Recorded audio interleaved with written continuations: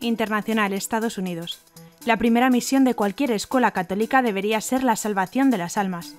El nuevo presidente de la Comisión Episcopal para la Educación Católica de la Conferencia Episcopal de Estados Unidos, Monseñor Thomas Daly, espera aportar su experiencia como profesor y presidente de una escuela católica, así como párroco de dos parroquias. En una sociedad cada vez más secular, cuando la vida de las personas parece cada vez más carente de sentido, nuestras escuelas nos recuerdan el amor de Cristo, la dignidad de la persona humana que está más allá de la mentalidad del momento presente o de la última tendencia educativa, dijo Monseñor Thomas Daly, obispo de Spokane, Washington.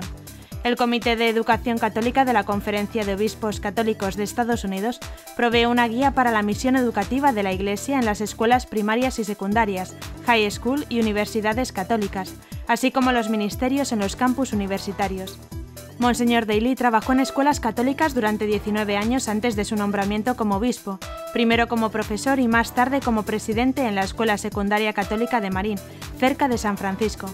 La primera misión de cualquier escuela católica debería ser la salvación de las almas, señaló, pero con demasiada frecuencia las escuelas católicas se centran casi exclusivamente en las cuestiones académicas, en detrimento de su misión católica. Una escuela católica debería ser académicamente excelente, pero siempre teniendo en cuenta por qué existe, para fortalecer los fundamentos de la fe.